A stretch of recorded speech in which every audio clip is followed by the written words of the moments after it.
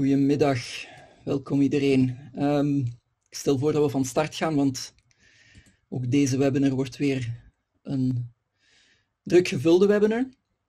Goedemiddag. Um, op dit laatste, uh, derde webinar van uh, Over de Grens. Um, dit is een reeks waarin we in gesprek met ervaringsdeskundigen uit zowel de beleidspraktijk als de kennishoek willen nagaan wat de succesfactoren uh, en de aandachtspunten zijn voor grensoverschrijdend samenwerken. Deze reeks organiseren wij in het kader van uh, Wij Maken Nederland. Dat is een platform uh, dat is enkele jaren geleden opgestart om met de vakwereld na te denken over de toekomst van Nederland. Um, we organiseren deze reeks in samenwerking met de Vlaamse Vereniging voor Ruimte en Planning, en met ondersteuning van het Nederlandse ministerie van Binnenlandse Zaken en Koninkrijksrelaties. Ik ben Rien van de Wal van de vereniging Delta Metropool. Wij zijn een, een denktank en een vereniging met leden uit zowel de overheids- als de privésector. En wij zijn met activiteiten zoals deze, maar ook met uh, ontwerpend onderzoek actief op thema's die raken aan uh, ruimtelijke ontwikkeling van Nederland, maar in de bredere zin ook het, het, uh, het grotere laaggelegen deltagebied. En onze naam, Vereniging Delta Metropool, maakt eigenlijk ook al duidelijk dat we dat gebied integraal willen benaderen met het natuurlijke systeem en de open ruimte minstens even belangrijk als verstedelijking en metropoolvorming. Ik geef nog eventjes mee dat dit webinar wordt opgenomen en dat dit na afloop voor terugkijken op ons YouTube-kanaal wordt geplaatst. Het eerste en het tweede webinar uh, zijn al terug te kijken op ons YouTube-kanaal. Dus stik gewoon eens Vereniging Delta Metropool in op YouTube en je komt er snel terecht. Uw vragen zijn natuurlijk welkom. Gebruik hiervoor de chat. We maken in het, half uur, in het laatste half uur ook tijd om, om die aan de sprekers voor te leggen. Uh, vandaag gaan we, uh, wie hebben we vandaag rond onze, rond onze virtuele tafel zitten? Wel, dat zijn projectleiders of coördinatoren van drie innoverende partnerschappen in grensoverschrijdende streek- en plattelandsontwikkeling. Om te beginnen Richard Rosemeijer van het grenspark Groot-Saaftingen aan de Schelde, vlakbij de Antwerpse haven. Ten tweede Katrien Schaarlakens van het rivierpark Maasvallei. Dat, dat park dat de hele grensmaas um, van, van Maastricht uh, in het zuiden tot Kinrooi en Torn in het noorden omvat. En tenslotte Bern Paret van het streekhuis Westhoek, waar al um, uh, 25, 30 jaar met Noord-Frankrijk wordt samengewerkt. Um, elk van die sprekers um, gaat een presentatie geven van een tiental minuten, uh, zodat we rond uh, kwart over één, twintig over één, uh, onze drie gasten in gesprek kunnen laten gaan met elkaar en met Paul Gerritsen, de directeur van de vereniging. En we gaan afsluiten met een korte nabeschouwing met Mart van Damme, regioverbinder bij het ministerie van Binnenlandse Zaken in Nederland. En dat doen we zo rond tien voor twee, vijf voor twee. Zodat we kunnen afsluiten rond twee uur of enkele minuutjes daarna.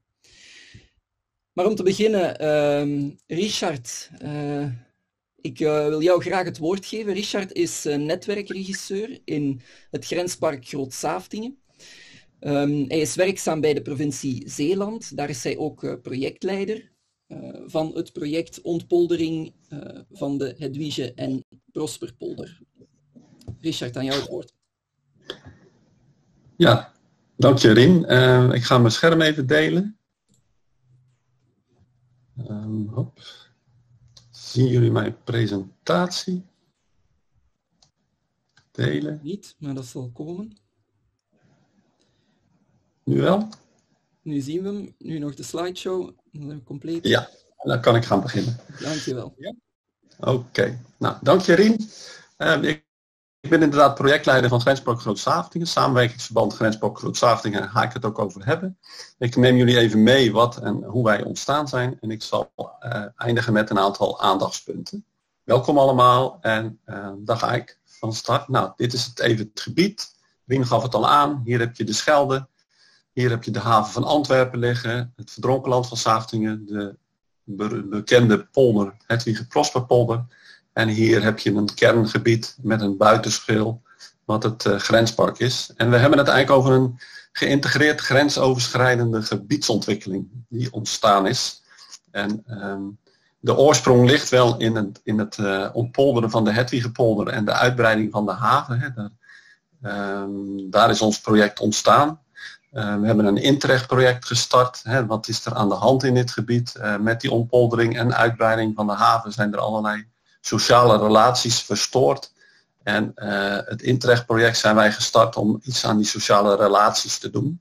Nou, het Interreg-project bestond ook uit een focus op natuurontwikkeling maar voor ons was het ook belangrijk dat we daar samen gingen bouwen aan een grensparkconcept. En dat hebben we met de regio gedaan vanuit dat Interreg-project. En we hebben het niet top-down gedaan, we hebben het niet bottom-up gedaan. Maar zoals we dat dan zeggen, dwars door het midden. En het is een identiteitsgerichte gebiedsontwikkeling geweest waarin wij met hart voor de streek en de omgeving het gebied zijn ingelopen. Een slow proces waarin we eigenlijk van vier, vijf jaar van protest naar ontwikkeling zijn gegaan. U ziet hier dat we veel protest hebben gehad, ook in de polder. Maar we zijn met elkaar aan tafel gegaan en hebben gekeken wat kunnen we nu met dit gebied? Uh, hoe kunnen we die sociale relaties weer herstellen? En daarvoor hebben wij onze stakeholders, dat zijn mensen met liefde voor het gebied, maar die ook iets willen doen voor het gebied. En met hun hebben wij gewerkt aan een gebiedsagenda voor Grenspark waar de ambitie is neergezet vanuit die identiteit en een positionering. En we hebben ook eh, gelijk daarnaast een uitvoeringsprogramma. Waarin we dus ook die ambitie die wij met de regio na vele gesprekken en vele bijeenkomsten hebben opgesteld, een plek kunnen geven en die ambitie kunnen gaan uitvoeren. Uh, we praten dan met een uh, identiteit die bestaat uit natuur, haven en landbouw in dit gebied. Hè. Zo gelegen aan uh, de haven van Antwerpen met die schelden erbij. Uh, heb je daar prachtige natuur, maar je hebt ook een, landbouw daar. Het is een, een, een, landelijk gebied. En we hebben daarvoor een, een drie-eenheid neergezet die wij al vooral als een vliegwiel door het gebied laten gaan. En we hebben dan ook een ruimtelijk concept in die gebiedsagenda, waarin we die partnerschap tussen die haven, landbouw en natuur een plek proberen te geven, maar waar we ook kijken naar een groen-blauw netwerk, hoe we dat beter kunnen inzetten, met daartussen de landbouwgebieden, om daar uh, de, de, landbouw van de toekomst te kunnen ontwikkelen. We hebben ook uh, daarnaast een onthaalstructuur uh, met een, een, een scheldenroute, een havenroute en een landbouwroute daarin. En we hebben ook een parkhart waarin, wij, waarin je de, de drie-eenheid het, het optimaalst kunt beleven. Maar wat willen wij nu echter, echter zijn? Naast die mooie natuur die daar ligt, willen wij een openluchtlabo zijn uh, voor het landelijk gebied. We zijn dat de laatste jaren geweest in dat Interreg-project, waarin we met elkaar het gesprek zijn aangegaan hoe je nou meer biodiversiteit bijvoorbeeld in de landbouw kunt krijgen. Uh, hoe ga je om met natuur in zo'n landbouwgebied? Nou, dat is wat wij willen zijn. Wij willen uh, experimenten doen en we willen in gesprek gaan met onze stakeholders. En hier zie je een aantal sfeersessies hoe wij dat zien. Aan de ene kant met je, ben je met de landbouw in gesprek over bijvoorbeeld watertekorten, maar kun je ook in het gebied uh, uh, lekker recreëren, kun je wandelen, kun je ook de, de toekomstige landbouw een plek geven, maar kun je ook met elkaar kijken hoe kun je meer andere vormen een plek geven in dat grenspark. Dus die integrale gebiedsontwikkeling, die hebben wij steeds voor ogen. En, uh, oh, sorry, even terug. Dan ziet u hier bijvoorbeeld een onthaalpoort waarin je uh, met elkaar uh, de landbouw weer een plek kan geven, maar ook recreatie in de het Wiegepolder willen bijvoorbeeld een mooie panoramaheuvel van 25 meter hoog neerleggen met het restant grond wat over is aan het eind van het project. Maar dan, dan ook een invulling geven met de streekholders als het gaat over recreatie en beleving. Nou, dit zijn is een sfeerplaatsje van, uh, van het gebied waarin je die haven ook naar voren ziet komen. Het samenwerkingsverband hebben we vorige week kunnen ondertekenen met elf partners. is vrij uniek natuurlijk. En we hebben dat gedaan voor vijf jaar. Een samenwerkingsverband waarin we niet naar een rechtspersoon gaan, zijn gegaan, wat eigenlijk gebruikelijk is, maar gewoon gekeken hebben wat is nou de dynamische beweging die hier is ontstaan en hoe kunnen we dat verder zetten. Het, is, het gaat gewoon over samenwerken en hoe geven we dat een plek. Nou, dat hebben we uh, gedaan. En uh, die horizontale aanplak heeft daar een, een, een, goede plek in gekregen. Omdat we heel erg op dat gebied van waardesturing verder willen gaan. Maar ook constant natuurlijk dat vliegwiel laten draaien. Nou, dat is een feestje geweest vorige week. En nu gaan we dus weer vijf jaar aan de gang. En wat betekent nou precies die waardesturing? Nou, als je een project doet waarin je alleen als organisatie aan de slag gaat, dan heb je een deelprobleem opgelost, zeggen wij. Doe je dat samen, dan ga je toch iets boven het normale resultaat uit, uitstijgen en kom je op een waardesturing. dat duurt wellicht wat langer, maar je krijgt ook meer waarde in het gebied. En dat vinden we belangrijk. En dat vinden de partners belangrijk. Hier zie je nog even die organisatie. We hebben een ronde tafel bedacht waarin het gesprek plaatsvindt. Waarin eigenlijk alle partners hun projecten meenemen. En waarin we die waardecreatie een plek kunnen geven. Belangrijk is deze groep natuurlijk, die stakeholders, die we daaraan koppelen aan die opgaves. Om met hun dat goede gesprek te hebben. Um, belangrijkste thema's voor mij als provincieambtenaren ook is natuurlijk ook uh, de klimaat, de vernieuwing van de landbouw, de leefbaarheid en die sociale cohesie verder te zetten. En dat zijn dus zaken die ik ook in mijn rugzak heb. Hè. Dus ik werk voor de provincie, ik ben netwerkregisseur bij het grenspark, maar ik heb wel wat in mijn rugzak om mee te nemen en ook in die, aan, die, aan die ronde tafel in te brengen. Ik doe dit trouwens over, uh, overigens met mijn collega aan de Vlaamse kant, Pieter Jan Merre, die hier ook aanwezig is. Dus daar kunt u straks ook wat vragen aan stellen of ik het verhaal goed heb verteld. We hebben nu een verbindingsprogramma waarin we al uh, een aantal projecten uh, voor de komende vijf jaar hebben neergezet. En waarin we dus een agenda hebben voor die ronde tafel om dat verder te gaan doen. Nou, even een belangrijke acties die daarin zitten. Hier ziet u al een hele lijst waarin we met elkaar al aan allerlei opdrachten werken. Um, we hebben bijvoorbeeld een regio-deal binnengehaald, CEO zelf aan zet, waarin we met elkaar kijken hoe we een van die routes uh, veel, meer, uh, veel beter kunnen inzetten. En we gaan met vernieuwing van de landbouw al aan de slag. Hier ziet u die Schelderoute, waarin we met de bewoners langs de Scheldekust een heel schetsontwerp hebben gemaakt voor die kust. En uh, dat is dus eigenlijk onze aanpak steeds, de bewoners betrekken, kijken wat ze missen en dat een plek geven in onze opgaves. Nou, hier zie je de plaatjes van uh, wat de bewoners met een architect hebben uh, bedacht. Ze vermissen als het ware heel erg de verbinding achter de zeedijken met de Schelde. Nou, hoe maak je dat dan weer beleefbaar? Hoe geef je dat een plek? Vernieuwing landbouw gaat heel erg over landbouw en innovatie. Maar de boeren hebben ook aangegeven dat ze een natuurinclusief uh, Zeeuws bouwplan willen hebben.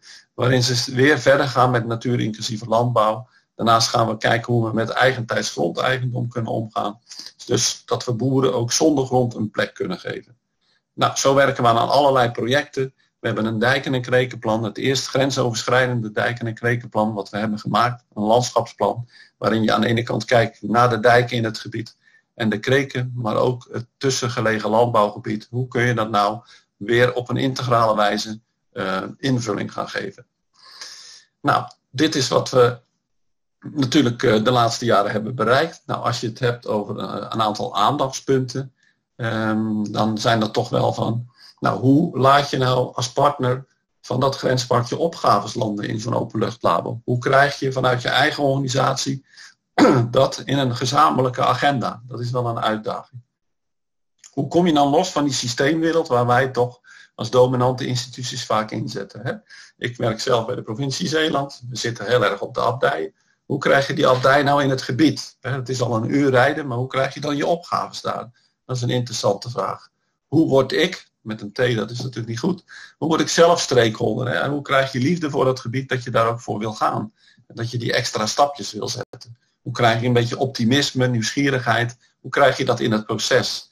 Dat klinkt misschien een, een, een, een beetje, uh, hoe noem je dat, uh, uh, idealistisch, maar daar, daar, gaat het eigenlijk wel over. Nou, die grensoverschrijdende regelgeving, hoe geef je dat een, een mooie plek? En ja, hoe kom je aan middelen voor uitvoering? En ook als je dan met subsidieregels al bezig bent, of je hebt subsidies gekregen, hoe krijg je dan die burgerparticipatie, wat toch ook vaak een, uh, een, een, een, een, tijd vraagt, hoe, krijg je dat nou, uh, hoe geef je dat nou een plekje in je subsidies?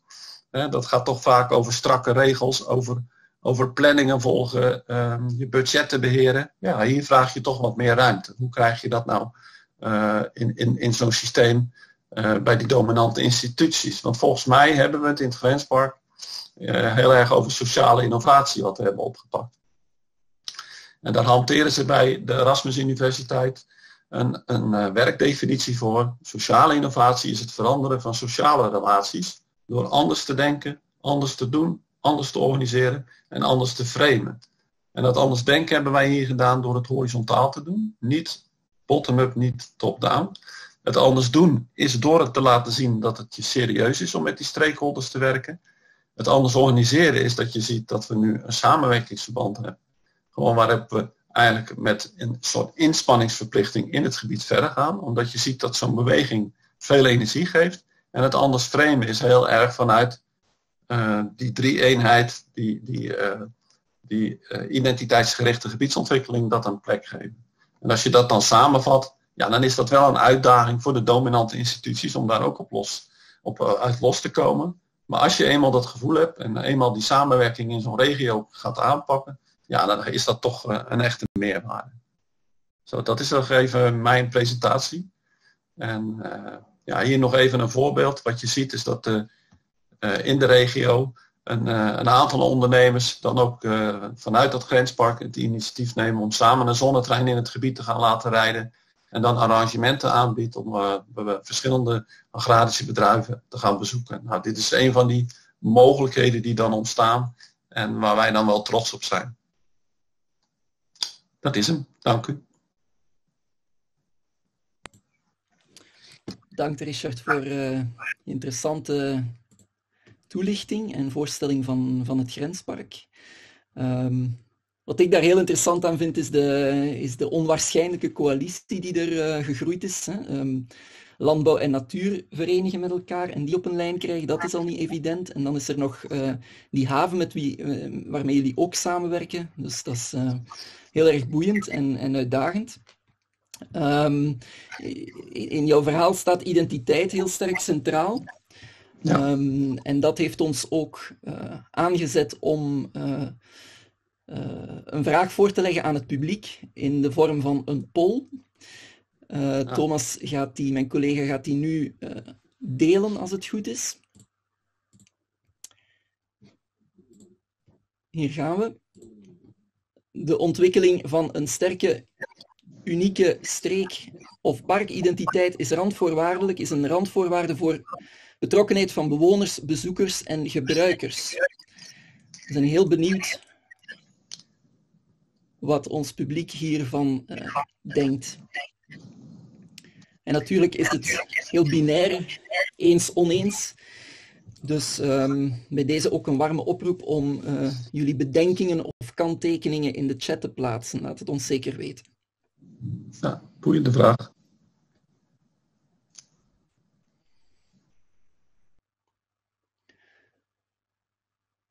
We gaan de resultaten nog niet delen. Die houden we nog eventjes geheim tot uh, voor ons gesprek. Want uh, ik ben er bijna 100% zeker van dat Katrien en Bern hier ook nog wel wat over te vertellen hebben. Um, dus ik stel voor dat we ook meteen naar Katrien overgaan. Katrien. Um, Katrien is projectleider van het grensoverschrijdende rivierpark uh, Maasvallei. Zij deed een culturele opleiding, maar ze is gebeten door streekontwikkeling, zegt ze zelf. En na een loopbaan bij de stad Hasselt uh, is zij sinds 2018 aan de slag bij het regionaal landschap Kempen en Maasland. En daar werkt ze dus al een aantal jaren aan dat rivierpark. Katrien, aan jou het woord. Yes, dankjewel Rien. Ik hoop dat jullie mij goed uh, kunnen horen en dat jullie ondertussen ook uh, mijn scherm kunnen zien. Bedankt voor de uitnodiging en we gaan eigenlijk van de Scheldemonding naar die andere grote rivier, de Maas, en naar het rivierpark Maasvallei. Wat je hier kan situeren, als ik naar mijn volgende slide ga. Um, ja, eigenlijk al op de grens tussen Nederland en Vlaanderen. Uh, hier zie je het een beetje groter. Rien zei het ook al in de inleiding. Het rivierpark Maasvallei is eigenlijk het grensoverschrijdend landschap. Aan beide oevers van de grensmaas, tussen Maastricht en Lanaken in het zuiden, uh, Kinrooi en Torn, het witte stadje, uh, in het noorden. En een heel bijzonder landschap, een heel cultuurhistorisch uh, rijk landschap, waar ik jullie heel even kort ter situering in meeneem. Hè. Sowieso heeft, heeft de Europese beschaving zich via rivieren verspreid en dan kan je in de Maasvallei ook heel goed zien, trouwens ook meer naar het zuiden, die Maaslandse architectuur, die Maaslandse cultuur, Jan van Eyck die de Maaslandse kruiden al op het Lamgot uh, afbeelde. Um, Romeinen, Vikingen, heel veel beschavingen die zich hier hebben gevestigd. Ook, ja, dat zie je in dat snoer van Maasdorpen, uh, wat aan beide oevers van de Maas uh, zich, zich wegslingert. Maar eigenlijk in de 19e eeuw, doordat de Maas op dit stuk, op deze 45 kilometer zeg maar, altijd al heel grillig was voor scheepvaart, zijn er kanalen gegraven. Ehm, dus je, kreeg zowel de Zuid-Willemsvaart in België en later natuurlijk het Albertkanaal. Een beetje meer naar het zuiden uh, begint dat al. En, en daarna het Juliana-kanaal op Nederlands grondgebied, die eigenlijk de scheepvaart overnemen om het makkelijker te maken. En die de nieuwe economische assen worden.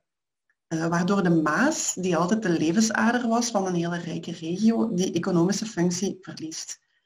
Uh, de kanaalvaart ontwikkelt zich, de steenkoolmijnen ontwikkelen zich trouwens aan beide kanten van die grensmaas, waardoor mensen en ondernemers en allerlei actoren zich eigenlijk wegdragen, wegdraaien um, van de Maas. Uh, en de Maas eigenlijk een, een ingedijkte en ook vrij vuile uh, rivier wordt met landbouw of natuurpercelen tot vlak aan steile oevers.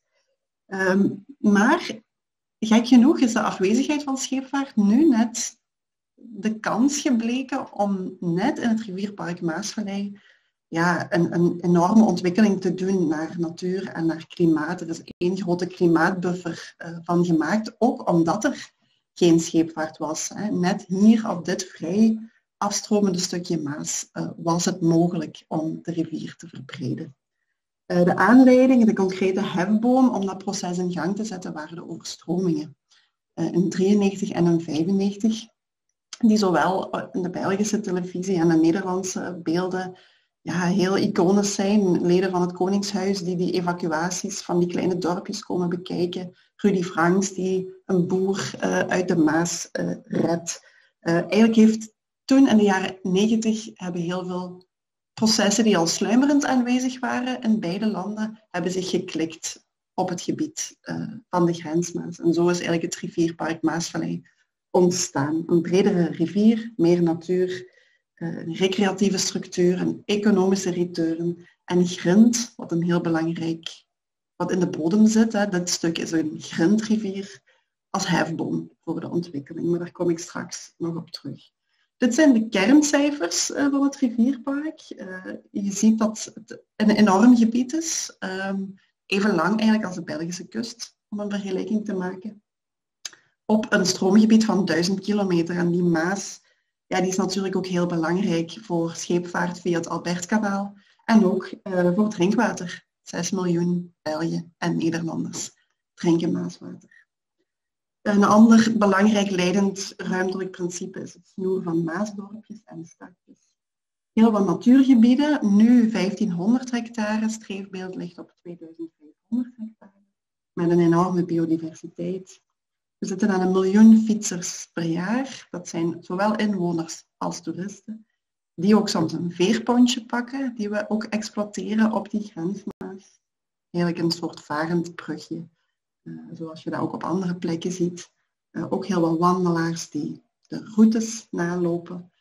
Binnen het rivierpark wonen een 50.000-tal mensen die nu droge voeten hebben, in tegenstelling tot de jaren 90. Uh, eh, en je ziet dat de Maas eigenlijk op, op deze tekening de groene zones, en je ziet de donkerblauwe lijn, dat is de, de hoofdloop van de Maas, zeg maar. Maar als het echt heel veel regent in de Ardennen of het is een hele natte periode, dan neemt hij ook die groene vlekken in. En dat is meer dan 4000 hectare.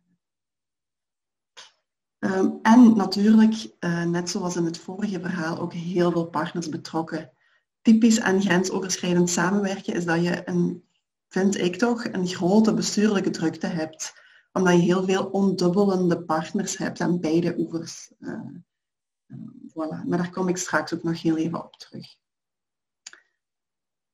Ik zei het al, uh, sinds de jaren negentig haken die uitdagingen, die, die trouwens niet enkel in de Maasvallei spelen, maar ook op andere plekken, haken die in elkaar in het rivierpark die hoogwaterveiligheid en die natuurontwikkeling op die oevers die ontstaan, die terug verlaagd worden. En heel belangrijk is de grindindustrie. Uh, zij zijn eigenlijk zowel aan de Nederlandse als aan de Vlaamse oever ingeschakeld uh, om die verbreding uit te voeren. Uh, en een deel van de opbrengst die zij hebben van de grind die ze kunnen ontginnen, herinvesteren ze in het landschap.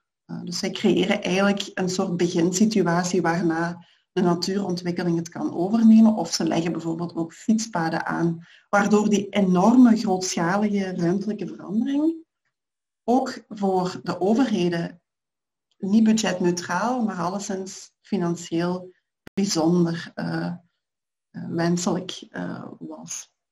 En dat heeft natuurlijk ook een recreatieve meerwaarde en dat levert dit soort plaatjes op, waarbij je eigenlijk linksboven hier nog, een, nog ziet hoe de Maas in de 19e eeuw was. Hier is nog een hoge oever met van die stortstenen, van die breukstenen.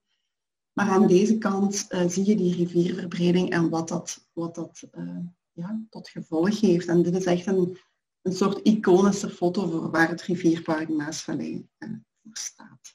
En het mooie is dat het grensoverschrijdend gebeurt. Dat je niet aan de ene kant van de rivier een bepaald soort landschapstype of een bepaald soort ontwikkeling hebt en dan aan de andere kant van de rivier, wat maar 50 meter verder is, maar een ander land, een totaal andere. Nee, het, is echt gezamenlijk opgepakt. Uh, met ook grote verdiensten voor de rivierbeheerders. Uh, in België is dat de Vlaamse Waterweg en in Nederland is dat Rijkswaterstaat, die zich in elkaar hebben geklikt voor wat betreft de grensmaas. Dan levert ook dit soort foto's op. Dit is voor ons geen overstroming. Dit is gewoon een hoogwater. Um, waarbij je ziet dat de poort naar een natuurgebied tijdelijk uh, niet meer beschikbaar is. Uh, dit komt steeds minder voor. Uh, het gebied is nu hoogwaterveilig, maar de volgende uitdaging is de droogte. Um, dus dit, dit soort fenomenen komt niet vaak voor en is dan een minstens even grote trekpleister voor de inwoners. Als de Maas uitkomt, zo wordt het genoemd, dan de zomer bijvoorbeeld. Ook dit soort um, tafereelen zijn overal te zien, ook in of aan of rond de natuurgebieden. Soms rijden de camions van de grindindustrie um, rond een plek waar ze weten dat een beverburg zit. Uh, of, of, of, doen ze even voorzichtig als ze een wilde paardenkudde tegenkomen. En dit is ook een winterfoto van hoe die rivierverbreding dan ruimtelijk in zijn werk gaat. Deze kant is de Vlaamse oever. We zitten ter hoogte van de Mazeik. Deze kant is een Nederlandse oever. En dit dorpje, Visserweert, dus een Nederlands dorpje, lag al tegen die 19e eeuwse stroomgeul. Uh, waardoor je ofwel de dijken enorm moet verhogen, ofwel de rivier kunt verbreden via een nevengeul hier die door de grindindustrie gerealiseerd is. En een brug, ook door de grindindustrie gerealiseerd, om die mensen eigenlijk bij, bij het vasteland te houden als het hoogwater is. Als het laagwater is, is het een enorm biodivers grasland. Een natuurgebied waarin je kan struinen. Ik zei het al, we, zitten ondertussen op een punt, ik spreek ook van de jaren 90 en de jaren 2000, waarin het rivierpark ook is opgericht. Dus dat is al, dat is al heel, heel lang. Uh, we zitten op een punt dat we ook wat resultaten hebben kunnen laten onderzoeken. Ecologisch dan uh, is de, het areaal natuurgebied verdubbeld door al die ingrepen. En de biodiversiteit is verdriedubbeld. Uh, een heel belangrijke afspraak tussen de Belgen en de Nederlanders is om uh, procesnatuur te hanteren. Dus niet te gaan ingrijpen als dat niet nodig is. Eigenlijk moet de rivier een sturend element zijn, hè, met het hoog en het laagwater. En de begrazing door wilde paarden en wilde runderen. Zij beheren de natuur. En de natuurbeheerders, dus natuurpunt, natuurmonumenten en dergelijke, gaan enkel ingrijpen als het moet. Bijvoorbeeld bij verbossing. Eh, de links naar de onderzoeken heb ik toegevoegd. Er is ook een economische return berekend van heel die uh, herinrichting van het winterbed.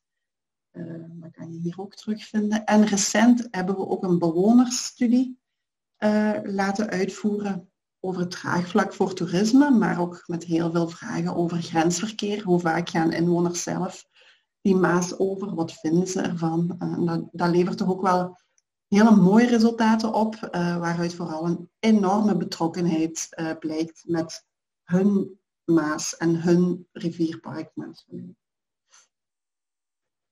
ecologische resultaten en alles over economische resultaten. Hè. Je ziet, en dat is ook iets wat wij willen stimuleren, een soort wildlife economy ontstaan van uh, businessmodellen en van ondernemers die zich richten op die natuurontwikkeling uh, als, als, als inkomen. En bijvoorbeeld kajakverhuur of excursies en dergelijke. En het sociale aspect uh, van de Maaslanders. Ik eindig nog even met onze structuur. Uh, hier zie je al onze partners opgelijst. Het, regionaal landschap Kempen en Maasland heeft samen met de provincie Belgisch-Limburg het rivierpark Maasvallei in het leven geroepen. Uh, dus eigenlijk eerst aan de Belgische oever, met de Belgische gemeenten, Lannaken, Maasmechelen, Stokken, Maasijk en Kinrooi. Uh, en eigenlijk omdat ook de ontwikkelingen aan de Nederlandse oever later waren ingepland, heeft Nederland ook later aangehaakt. Daar hebben ze rond 2014, 2016 beslist om niet te omdubbelen. Uh, en dat vind ik echt een enorme meerwaarde. Dat zou ik iedereen aanraden om te zoeken naar de best mogelijke gebiedsregisseur en niet er een extra gebiedsregisseur naast zetten. Dus de Nederlanders hebben eigenlijk beslist om mee in te stappen in het model van het regionaal landschap via een meerjarige samenwerkingsovereenkomst. Uh, waarbij we dus één team zijn wat die ontwikkeling stuurt. Wel een team met België en Nederlanders. Ik ben toevallig een Belgische, maar wordt voor de helft uh, betaald door de Nederlandse boer. Voor de rest hebben we ook een bestuurlijk overleg, één keer per jaar, met alle wethouders en schepenen en de gedeputeerden van de beide Limburgen. En hebben we grensoverschrijdende werkgroepen, waar ook de gemeenteambtenaren, de natuurbeheerders, de toeristische actoren, uh, ondernemers en dergelijke mee aansluiten. dat ziet er dan zo uit. Dat is niet zo eenvoudig. Dat is vaak, hè, vaak is er echt bestuurlijke drukte. Um, en is het ook wel onze missie om zoveel mogelijk die omdubbeling tegen te gaan of ja, alleszins die spin in het web te zijn, wat zo nodig is als je grensoverschrijdend samenwerkt. Uh, om te vermijden dat iedereen ja, los van elkaar op de beide oevers iets verschillend doet, maar dat geldt eigenlijk ook tussen gemeentes. En dat geldt soms ook tussen natuurbeheerders. Dus die samenhang uh, dat web is cruciaal om iets grensoverschrijdend te doen. Nog een aantal dingen die ik opwerp en die misschien voor het debat interessant kunnen zijn, of wat wij wel merken, is dat grensoverschrijdend samenwerken niet enkel ingewikkeld en moeilijk is, maar dat het ook heel kansrijk is, omdat je de beide landen als hefboom voor elkaar kunt gebruiken. Uh, Nederland maakt een plan uh, of rond water ja, dan kan België niet anders dan meedoen, omdat ze aan elkaar geklikt zijn. En vice versa geldt dat ook. Uh, dus dat dat is, echt heel krachtig. Um, een ander iets wat we vaak tegenkomen, en daarvoor ga ik de laatste foto laten zien, is dat wij wel heel erg bezig zijn met die grens te slechten, hè, die grens te vervagen. Maar dat dat vaak ook betekent dat je elders nieuwe grenzen moet installeren. Het voorbeeld van die wilde paarden en die wilde runderen is tekenend. Zij, hoe droger, ah ja, met de klimaatverandering zijn er langdurige droogteperiodes. Uh, en dat maakt dat die dieren vaker oversteken. Dus een hengst van een Nederlandse kudde ziet uh, de, de Belgische merries aan de overkant en waat eigenlijk gewoon door de rivier. En voor die dieren is dat natuurlijk prima, maar voor ons mensen met regels en juridische kaders en V-certificaten is dat, is, dat, is dat niet zo eenvoudig, waardoor die hengst moet worden gevangen, moet worden teruggebracht. Natuurlijk zwemt hij hetzelfde uur opnieuw over. Hè. En Europa biedt wel een oplossing. Je zou van die grensoverschrijdende Maasvallei een één gebied kunnen maken met dezelfde juridische regels. Maar dat betekent eigenlijk dat de grenzen elders komen te liggen. Dat die dieren dan vervolgens niet elders in Nederland of elders in Vlaanderen kunnen ingezet worden. Dus dat wou ik nog even opwerpen. En uh, experimenteergebied, dan merk je ook dat heel veel overheden vaak zeggen, goh, zo doen wij dat, zo doen wij dat niet in Nederland of in België. Maar we zitten hier in een grenssituatie, dus we zijn wel bereid om onze kaders uh, te verlaten of om een uitzondering te maken. En dat maakt dat grensstreken super boeiend zijn om ehm, beleid van overheden te doen innoveren. Dat bij wijze van uitsmijter. Dankjewel Katrien, heel inspirerend. Ehm, en wat dat je vermeldt, dat beide oevers uh, mekaars hefboom zijn, dat hebben we in de eerste webinar ook al wel eens uh, mogen horen. In de zin dat, uh, dat de landen elkaar kunnen, um, ja, landen functioneren niet noodzakelijk op, op dezelfde snelheid. Beleid wordt niet op dezelfde, met hetzelfde tempo uitgerold. Maar uh, ze kunnen elkaar wel aanmoedigen op die manier of, of elkaar inspireren om dezelfde doelstellingen of dezelfde strategieën te hanteren. Um, ook naar aanleiding van jouw presentatie, Katrien, gaan we een poll de groep ingooien. Um, en hier gaat de vraag over, uh, of de stelling is, je hebt een duo van trekkers nodig om succesvol grensoverschrijdend samen te werken.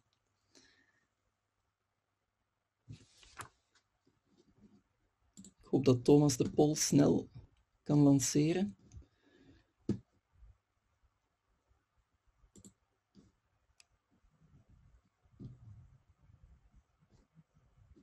Wacht hoor. Denk dat ik het moet doen. Hier gaan we.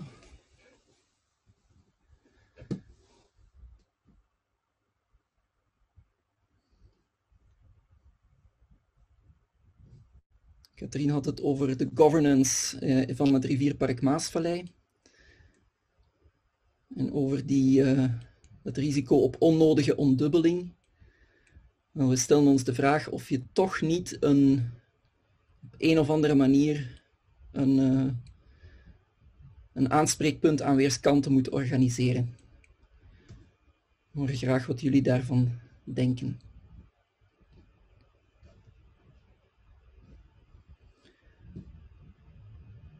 En de tijd schiet op, dus ik stel voor dat we ook uh, meteen doorgaan naar onze laatste gast, zoomen eigenlijk uit. We gaan van een redelijk kleine schaal uh, in het grenspark Groot Saaftingen naar um, ja, toch al meteen een, um, een gebied uh, gelijk aan de, Belgi de lengte van de Belgische kust.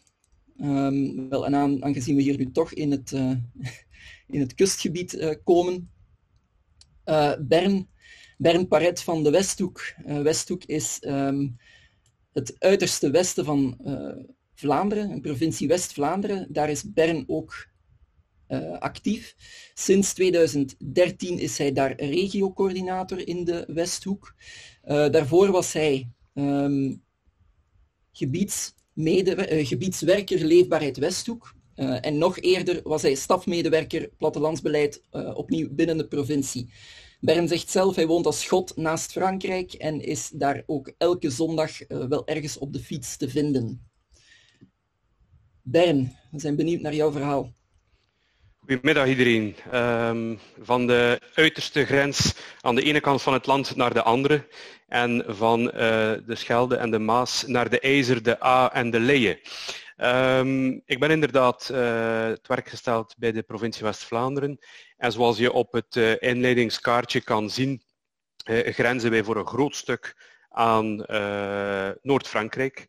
En we gaan dus eigenlijk van twee misschien wel omschreven gebieden nu naar een groter territorium. De Westhoek telt 18 uh, gemeenten, met de nieuwe regiovorming nog 17, maar dat moeten we allemaal nog zien uh, passeren. Uh, maar beslaat ook ongeveer een derde van, het, van de oppervlakte van de, van de provincie West-Vlaanderen. En als we even teruggaan in de tijd, toch wel al een serieus eind in de tijd, 17e eeuw, dan zie je één mooi gebied dat geen grenzen kent of dat in de loop van de uh, tijden, eeuwen telkens wel overheerst werd door iemand anders. Uh, totdat uh, in 1713 met de vrede van Utrecht een grens gevormd werd middenin dit gebied. Je ziet de moeren hier toen nog een ja, soort moerasgebied. Hier loopt nu dwars de grens naar beneden. Dat betekent dat net zoals ook in de Maasvallei wellicht het, uh, het geval zal geweest zijn, dat je eigenlijk in een gebied actief bent dat een, eenzelfde geschiedenis deelt, dat zelfde landschappen deelt en dat dus uh, eigenlijk inherent met elkaar verbonden was, maar door de grens eigenlijk een nieuw soort uh, statuut krijgt, totdat plots in, uh, in de jaren 80 uh, beslist wordt om die grenzen opnieuw weg te werken. En eigenlijk sindsdien zijn wij met de provincie West-Vlaanderen en het departement du Nord constant aan het zoeken hoe we die grens minder zichtbaar kunnen maken. In tegenstelling tot de collega's die aan de Nederlandse grens werken, en die hebben wij ook in ons gebied natuurlijk, die met Zeeland samenwerken, ja, dan hebben wij wel een taalbarrière uiteraard. Um, een van de uh, voorbeelden in die structurele samenwerking met het departement du Nord, die uh, onlangs 30 jaar lang bestond, dat is eigenlijk dat we ook hier zie je geen grens op deze kaart. We hebben een kaart gemaakt met de Universiteit van Gent over de grensoverschrijdende landschapseenheden, want die landschappen lopen gewoon door.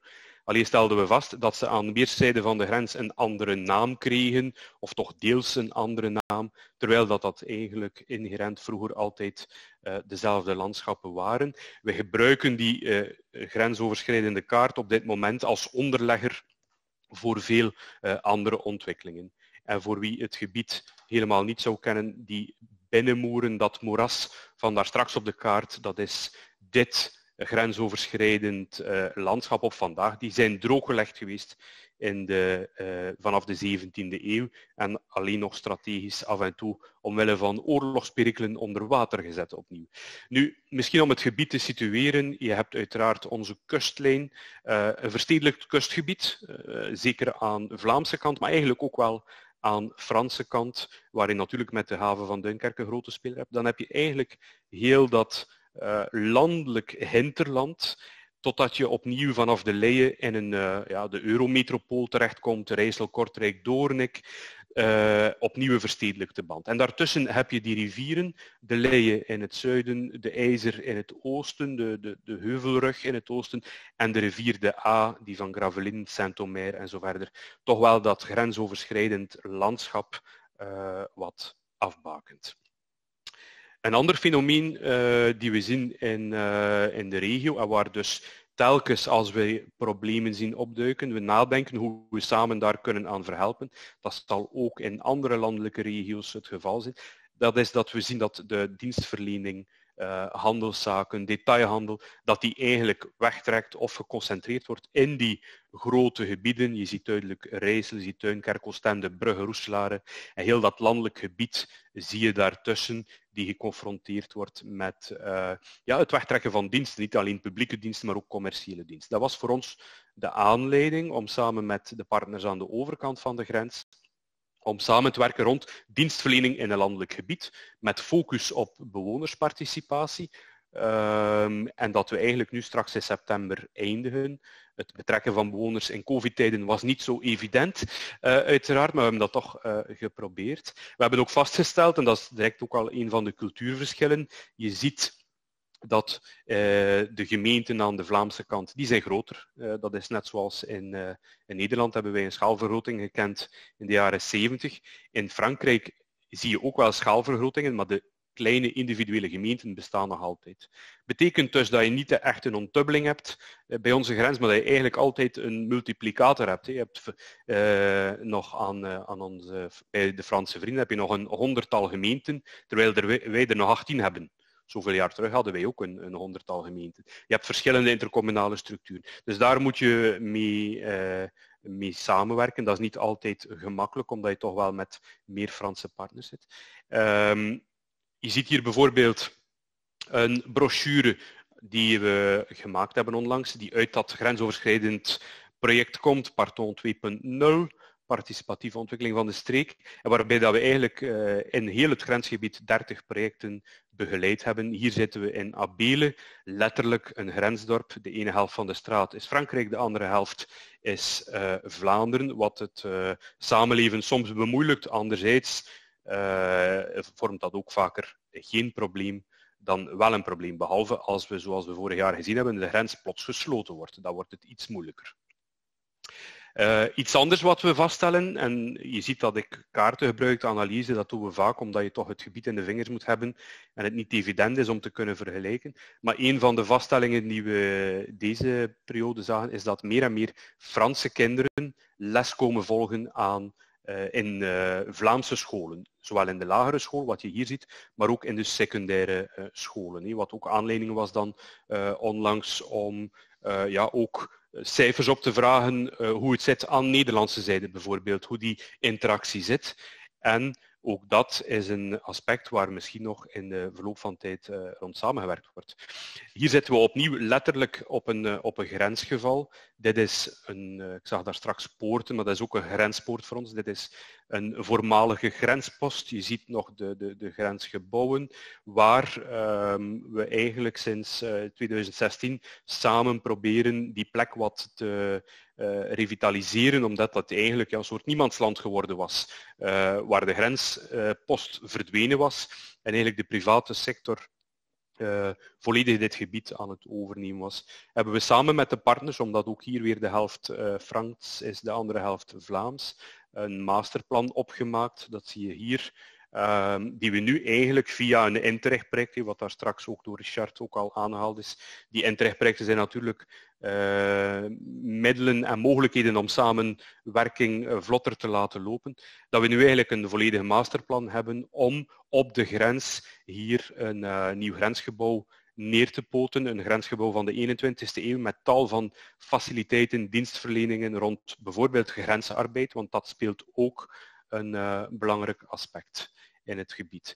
Wat je hier ziet is uh, recente informatie die we uh, verzameld hebben via uh, GPS, GSM gegevens. Je ziet de grens mooi lopen en je ziet eigenlijk in de rode kleur die grensovergangen die het meest belangrijk zijn.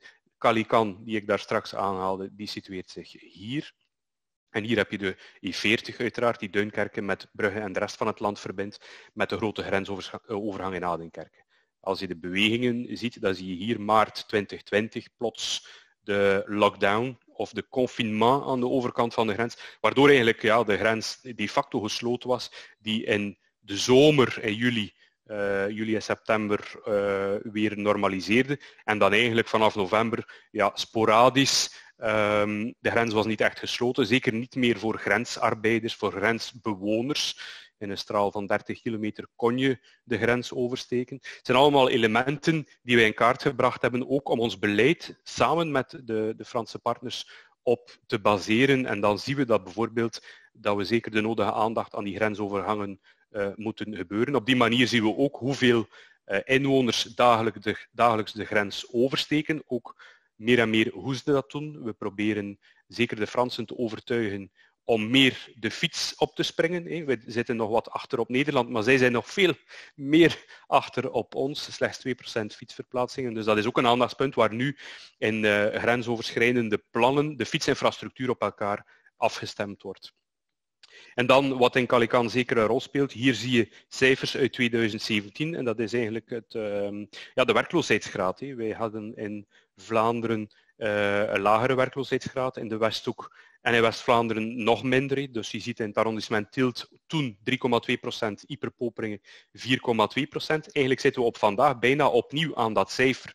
Aan de overkant van de grens ligt dat cijfer veel hoger. Vandaar dat we nu ook grensarbeiders, of dat al langere tijd hebben, dat die grens toch overgestoken wordt. Het belang die in Frankrijk gehecht wordt om meer en meer Nederlands te leren, heeft ook daarmee te maken. Dus de blik is ook wel echt uh, naar West-Vlaanderen gericht, omdat je net aan de andere kant, uh, zoals Katrien zei, ja, als je samenwerkt creëer je nieuwe grenzen. Ja, de grens uh, met Le Nord en Pas-de-Calais is er natuurlijk ook wel een. Daar zie je dat die percentages nog een veel landelijker, gebied nog veel hoger liggen. Dus we hebben ook verschillende projecten met de POM West-Vlaanderen, dus onze ontwikkelingsmaatschappij bijvoorbeeld, die rond grensarbeid draaien, rond arbeidskracht en samenwerking met VDA, VDAB, Pôle emploi en zo verder de verschillende partners. Dus ook op de economische samenwerking, die wordt sterker en sterker.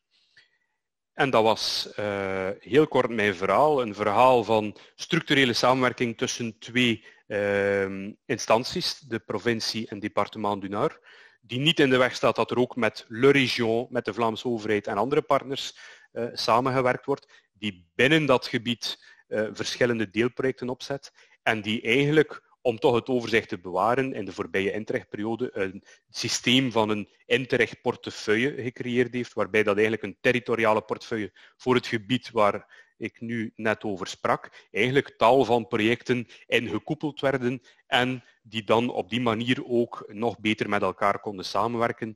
Territoriaal, dat ging over dat dorpenbeleid, partoon dus, dat ging over waterbeleid, dat ging over um, uh, allerlei aspecten, mobiliteit, maar dat was een uh, voorwerp van de vorige webinar. Voilà, ik laat het hierbij in. Dankjewel, Bern. En het is toch weer opmerkelijk uh, hoe integraal elk van die, um, van die gebieden worden, worden, worden aangepakt en, en ontwikkeld. Dat is um, heel mooi om te zien. Um, uh, ja, jullie zijn, jullie, jullie zijn al, al, ruim een kwart eeuw aan de slag uh, rond die, die, die grens in de Westhoek. We hebben ook onder, ondertussen in de chat is ook een overzicht verschenen van, van alle grensparken en, en, en plattelandsontwikkelingen op de Bel Belgisch-Nederlandse grens. En het is toch wel um, ja, opvallend hoeveel dat er zijn. Um, dat heeft ons ook geïnspireerd om voor de laatste poll die we nu gaan lanceren. Um, beetje een prikkelende vraag, hopen we. Uh, het is eenvoudiger om grensoverschrijdend buitengebied te beschermen dan om grensoverschrijdend stedelijke ontwikkeling te faciliteren. Bent u het daarmee eens of oneens?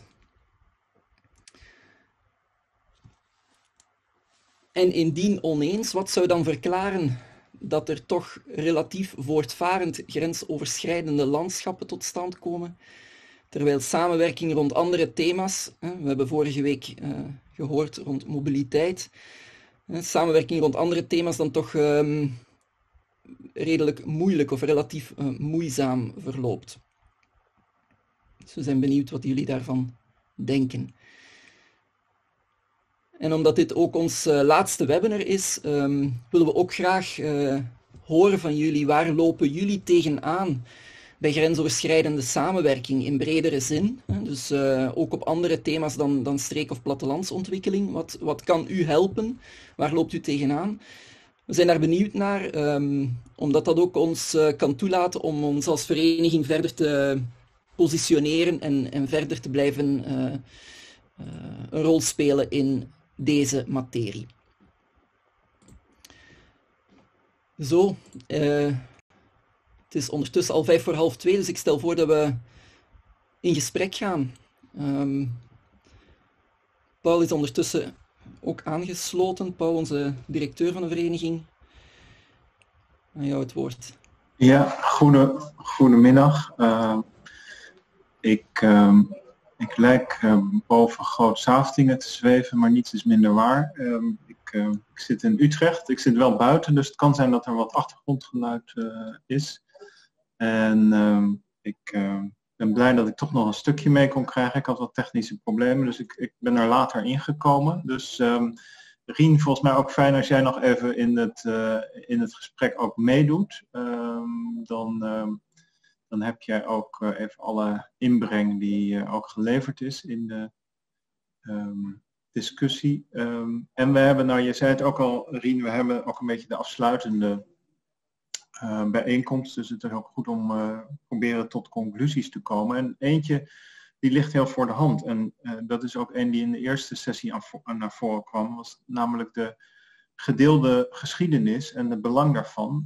wat ook in de recente historische studie eh, over de lage landen uh, heel duidelijk werd gemaakt. Daarin werd overigens ook die territoriale vergelijkbaarheid heel sterk gepositioneerd. Um, dus dat is denk ik ook uh, mijn eerste onderwerp van gesprek wat mij betreft. Hè. Dus de rol van het landschap als drager van identiteit en als drager van verbinding. Ehm, het ligt voor de hand. Ehm, maar ik ben ook wel benieuwd naar ehm, of dat ook wel klopt. En in hoeverre uh, is dat eigenlijk, zou dat misschien andersom kunnen omdraaien. In hoeverre is dat niet voorwaardelijk? Hè? is dat niet een absolute voorwaarde in die samenwerking dat je toch een soort van gevoel van identiteit deelt? Um, wie kan ik daarover het, als eerste het woord geven? Ik wil nog wel, ik wil wel reageren als dat kan. Oh, Katrien eerst. Ja. ja. Ga je gang. Ik denk dat het een absolute voorwaarde is. Dat er een soort van uh, ruimtelijke samenhang is in landschap, in erfgoed, in historie, soms ook in taal. Of ja, dat is natuurlijk niet altijd het geval, maar alleszins die, die samenhang in een soort landschappelijke cultuur, als ik zo, het zo mag noemen.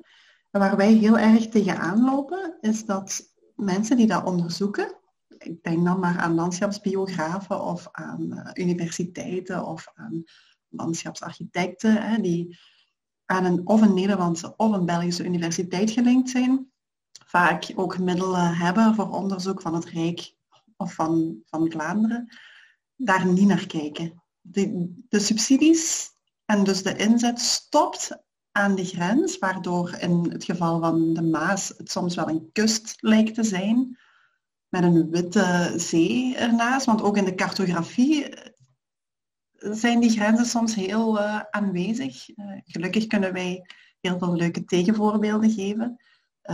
En dat is wel heel jammer. Dus wij, wij, steken wel heel veel energie in het duidelijk maken aan onderzoekers die het landschap en die cultuurhistorie onderzoeken. Van, kijk, grensoverschrijdend. Waar, waarbij ze dan vaak zeggen, ja, maar ja, on, onze beurs of onze subsidie uh, dus dat is al, alleszins al een werkpunt, voor, ook misschien voor jullie als vereniging, om, om bij die onderzoekswereld uh, aan te kaarten. Ja, goed punt. En, en dat leidt ook meteen tot wat, wat Bern ook uh, liet zien in zijn, in zijn gegevens. Hè? Dus dat is ook iets waar we enorm vaak tegenaan lopen, dat die gegevens over en weer over de grens vaak heel goed aanwezig zijn, maar niet op elkaar aansluiten.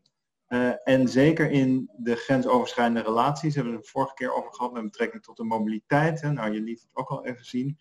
Um, eigenlijk uh, bijna onbruikbaar zijn, omdat ze, uh, als je er niet specifiek op vraagt, eigenlijk op een hele andere aggregatieniveau terechtkomen, waardoor je eigenlijk het, goed, het gebied niet goed kan, kan begrijpen. Um, Bern, is dat ook de reden voor jullie om daar aparte onderzoeken naar te doen?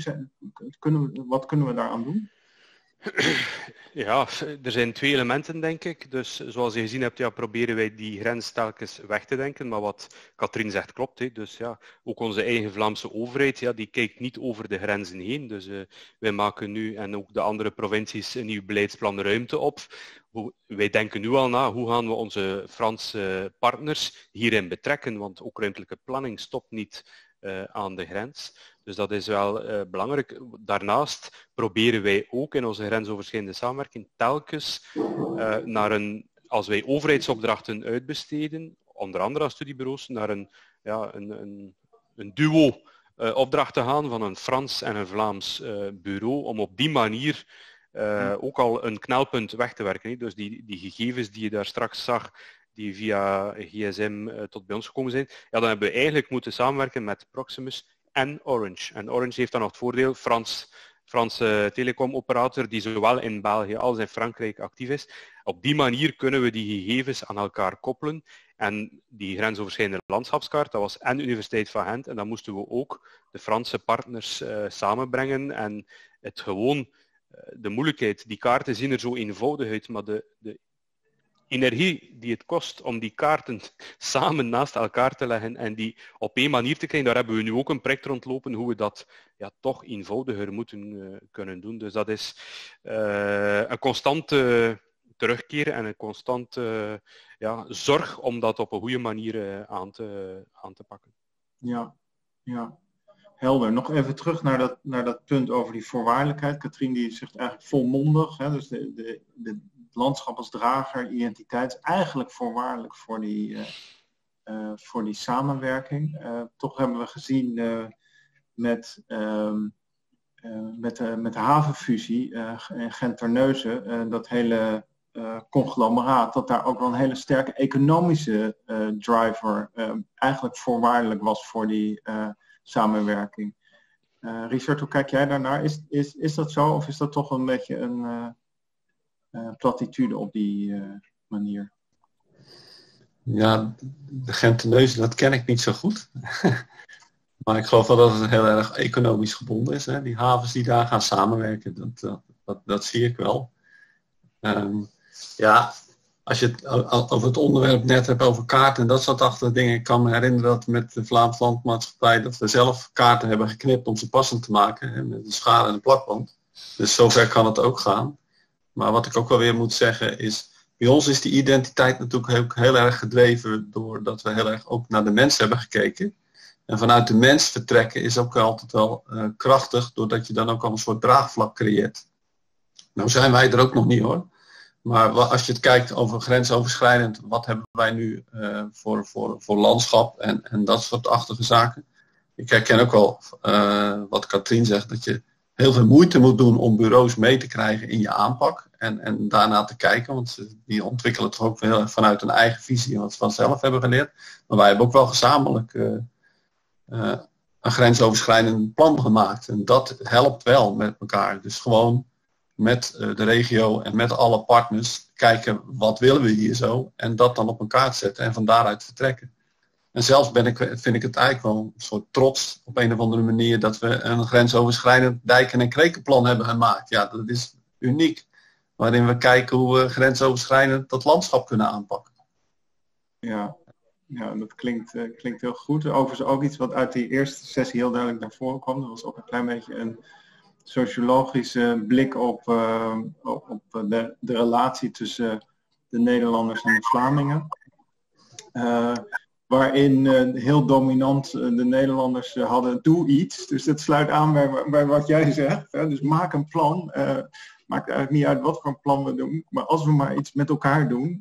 en, en, en, nou ja, dat ja. sloot eigenlijk ook wel weer haarfijn aan bij, bij de wat meer Vlaamse ehm, ehm, tendens om te zeggen, nou het is vooral belangrijk dat we het met elkaar doen. Hè? Dus uh, een plan met elkaar maken zou zoiets kunnen zijn. Plan maken, maar ook met elkaar.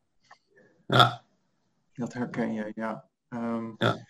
Goed. Um, um, misschien ook een beetje in, in, in termen van waar het allemaal toe kan leiden. Want het ligt heel erg voor de hand om dat landschap als uitgangspunt te nemen. Dat verbindt. Hè, heel sterk in zijn karakteristieken, in zijn kwaliteiten. Zeker in relatie tot, uh, tot het water. Hè. Het water is eigenlijk in al die plannen aanwezig en ook logischerwijs verbindt dat.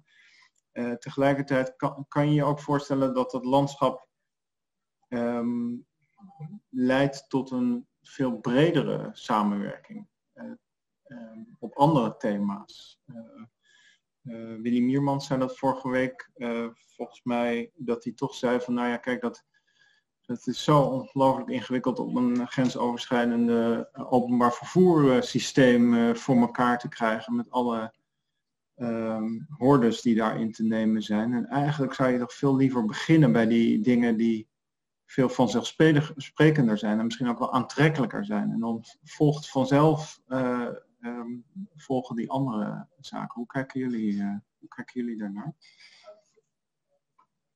Wie wil daar uh, op reageren? Katrien, misschien jij om, te, om te beginnen in, in het gebied van Willy Miermans.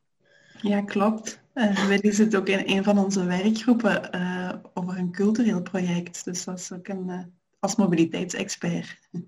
maar een hele waardevolle bijdrage ja, eh, heel concreet in de Maasvallei gaat het, als het gaat over mobiliteit bijvoorbeeld, uh, stikt er ook heel veel werk achter de grensoverschrijdende veerponten. Die voor de Nederlanders gerust betalend mogen zijn, voor de Vlamingen dan toch liefst gratis zouden mogen zijn. Wie gaat ze exploiteren? Van wie zijn de, de scheepjes? Uh, wie herstelt de veerstoepen? In Nederland zijn dat eerder de gemeentes, in Vlaanderen is dat de Vlaamse Waterweg. Dus dat is ook die bestuurlijke drukte, maar desondanks varen wel elke dag vier grensoverschrijdende veerponten. Behalve tijdens de coronacrisis.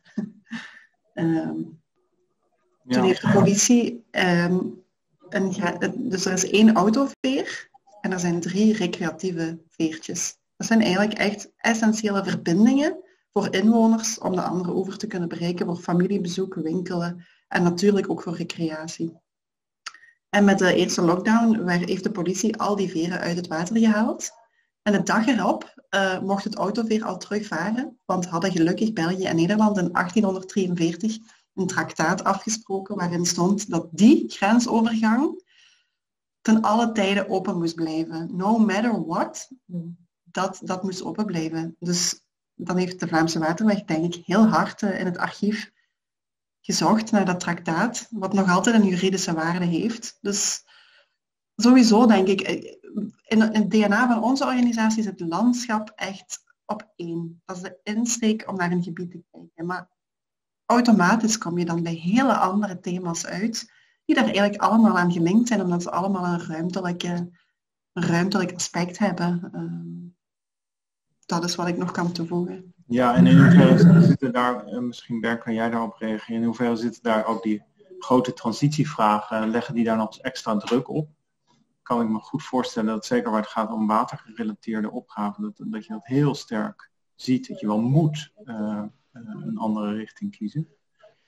Wel, als je samenwerkt met elkaar, misschien daarmee beginnen, want uh, ook in, in eigen land zie je dat vrij snel en gemakkelijk samengewerkt wordt op de relatief gemakkelijke thema's. Toeristische ontwikkeling, um, cultuur, waar eigenlijk, ja, dat is al sowieso eh, bijna universeel. Daar vinden mensen elkaar heel snel, ook grensoverschrijdend. Dat, die eerste type projecten eh, gingen daarover.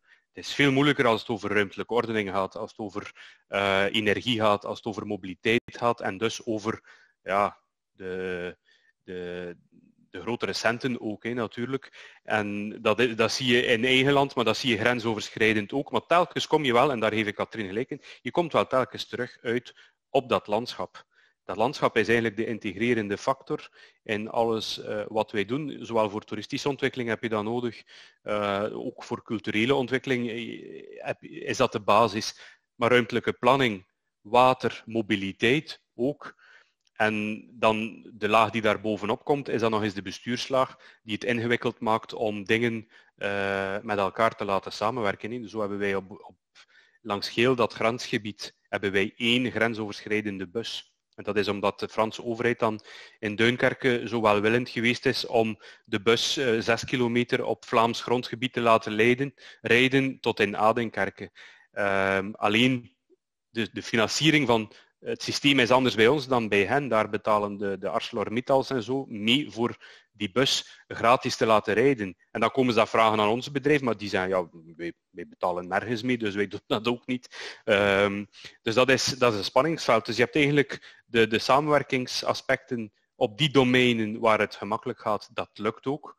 Um, vanaf dat het over mobiliteit, ruimtelijke planning uh, gaat, uh, om nu nog te zwijgen als ik denk aan de, aan de metropool, over uh, fijnstofdiscussies, zwaar vervoer die moet omgeleid worden rond Rijssel en die dus deels over Wallonië en Vlaanderen moet, ja dat zijn de, de veel moeilijker discussies. Um, helder, ja. Um, en, en, en dat moet wel steeds meer natuurlijk. Dat is denk ik ook uh, um, duidelijk. Dus daar moeten we een modus voor vinden. Ook uit het eerste gesprek um, werd duidelijk dat het heel belangrijk is om in termen van die samenwerking bestuurlijk ja, eigenlijk een soort ruimte te creëren. Hè? Dus dat was denk ik in de uh, in, in, het, in het gebied waar, uh, waar Grenspark Groot, ligt, echt aan de orde dat het zo belangrijk was om daar een bestuurlijke, op, op, op, grote hoogte en op hoofdlijnen samenwerking te creëren en daarna af te dalen naar de ingewikkelde kwesties van verschillende vormen van aanpakken, andere juridische stelsels enzovoort. Um, en eigenlijk beide werd in dat gesprek heel duidelijk uh, beschreven, is uh, noodzakelijk. Dus een soort van gevoel van missie en gezamenlijkheid op hoofdlijnen uh, op, op echt het hoogste niveau.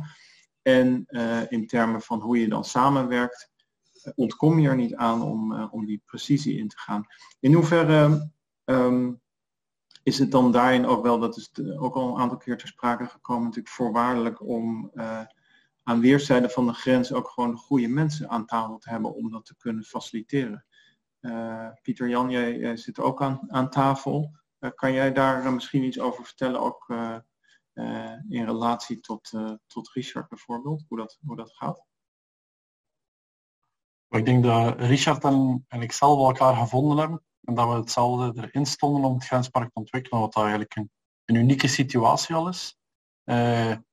Maar tegelijkertijd is het ook wel altijd de juiste mensen aan tafel hebben die met ons willen bouwen. En dat is dan uh, in, in, onze stuurgroep het geval. Uh, met mensen die, die het vooruit willen laten gaan en ook de ruimte bieden aan andere partners om opgaves in te brengen. Maar dat is ook voor heel concreet naar, naar projecten en dergelijke. Van, uh, als grenspark kan je niet alles trekken, dus je bent ook afhankelijk van die partners. en hoe in hoeverre willen zij ook mee met het grenspark bouwen. Dat toch een constante dynamiek die we aangaan. Uh, die we aangaan met gemeenten, met natuurbeheerders. Uh, zij dagen ons uit en wij dagen hen uit. En dat is die constante vorm van uitdaging. Zo brengen we elkaar vooruit. En zo vormen we volgens mij toch, uh, zo bouwen we samen aan een grenspark. En is dat dan, is dat dan een toevallige uh, we zeggen, ontmoeting? Moeten we het daarvan hebben of kunnen we daar nog iets aan doen? ik denk, in de eerste vijf jaar tijdens ons Interreg-project hebben we ook gewerkt aan een gemeenschappelijk verhaal. Dus, de Richard heeft dat ook al toegelicht. Die gebiedsagenda, uh, die is niet enkel ruimtelijk van aard, maar die geeft ook gevoel. Die, die stakeholderwerking. Kortom, we hebben eigenlijk een hele beweging opgezet. Uh, en we zijn hier als apostelen rond het gebied doorgetrokken. Om, ja, het soms minder blij op de blije boodschap te verkondigen. Laat het zelf maar die invulling geven. Maar dat, heeft al gemaakt dat, we, dat, dat de beweging kenbaar was. En dat ook wel mensen gezien hebben van met mijn opgaves kan ik in dat grenspark ook, ook vooruit geraken. Uh, met de haven hebben we zo'n dynamiek ontwikkeld, maar, maar even met de natuurbeheerders die, uh, die ook met specifieke problematieken zitten. Uh, en zo kunnen we denk ik wel veel opgaves aan elkaar koppelen en meerwaarde, tot een meerwaarde komen voor het gebied. dat, is wel, dat, is, dat is altijd een zoektocht. Maar ik vind wel, eh, dat is ook wel, het heeft mijn, mijn ogen open gedaan dat, dat een aantal jaar dat we werken en dat we dat ook zo tentoonspreiden, dat, we, dat ook wel de mensen om duur naar ons beginnen komen. Dus dat, eh, vorige week had we nog een onderneemster die wil werken rond korte keten en lokale teelten. Ja, dat is, we zouden er honderd jaar naartoe zoeken. Maar mensen beginnen ons ook te vinden en beginnen onze manier van werken ook te appreciëren en, en komen ook richting ons. Dus vind ik wel, uh, dat, dat geeft wel een goed gevoel. Dan merkte ook dat de beweging en die sociale innovatie die dat we als theoretisch model misschien al vijf jaar geleden geïmplementeerd hebben, dat die nu ook gewoon tot resultaat op terrein begint te, te, te, eh, dat die resultaat op terrein begint te leveren. Dus dat, is, ja, dat het geeft wel hoop en ik, het is misschien een zoektocht langs beide zijden. Want wij zenden, wij zenden een verhaal en andere mensen vinden ons verhaal. Ja, maar het is alleszins uh, plezierig, toch? Dat is, dat is het in ieder geval leuk om met zo'n verhaal bezig te zijn, wat aanspreekt, wat, waar, waar je dingen terugkrijgt en wat verder gaat. Uh, Bern, jij wilde daarop aanvullen? Wel, ja, ik denk samenwerken is altijd mensenwerk. En dat uh, geldt ook grensoverschrijdend. En wat denk ik heel belangrijk is, en dat is hoe wij in de gebiedswerking ook werken, je hebt ambtelijke en politieke trekkers nodig. Mensen die elkaar vinden. Um, in het beste geval gaan de ambtelijke trekkers iets langer mee dan uh, de politieke trekkers. En dat is altijd bang afwachten, nie? want de samenwerking staat of valt op basis van de goodwill van de mensen die erin geloven. En dus op dit moment uh, zijn er regionale en departementale verkiezingen in Noord-Frankrijk. Dus voor ons is het uh, wel even afwachten wie straks aan de overkant van de tafel verantwoordelijk wordt. En is de nieuwe president du departement du Nord even into samenwerking met, uh, met West-Vlaanderen of niet.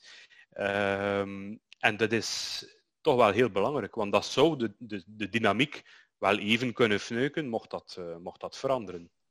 Ja. Ik ben wel benieuwd. Uh, Bern, is dat, is dat de voorbije kwart eeuw al, al voorgevallen? Het is misschien ook wel interessant voor de andere projecten die, die minder lang bestaan of aan het werk zijn, om eens te horen van ja, wat, wat doet 30 jaar met zo'n grensoverschrijdende samenwerking? Veel.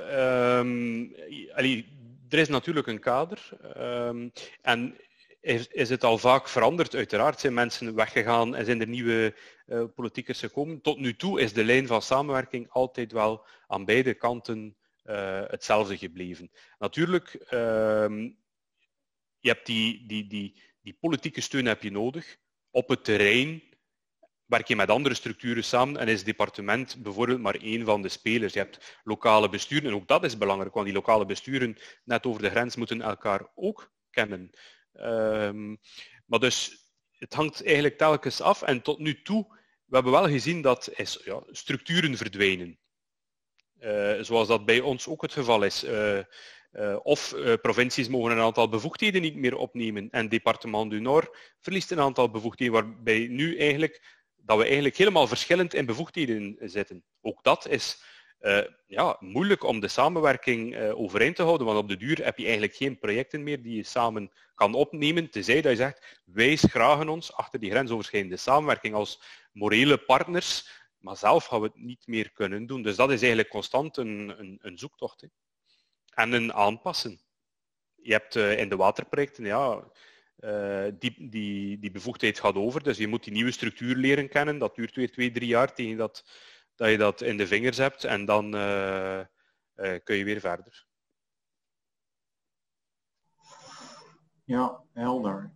dus het is, maar goed, ook dat reflecteert weer terug op het belang van die, van die identiteit en die onderlegger. Dat dat zo'n ontzettende belangrijke driver is om die dynamiek te houden om, om dat ook te willen uh, doen en daarop uh, vooruit te gaan. Want ik hoor jullie natuurlijk ook allemaal zeggen, kijk, het is ingewikkeld, maar inmiddels weten we denk ik ook allemaal dat binnen grenzen diezelfde ingewikkeldheid misschien wel minstens zo groot is. Hè?